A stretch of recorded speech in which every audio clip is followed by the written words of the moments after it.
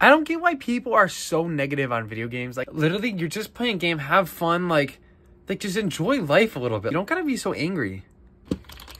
Oh my god, bro! Don't touch grass, you piece of shit! Oh my god!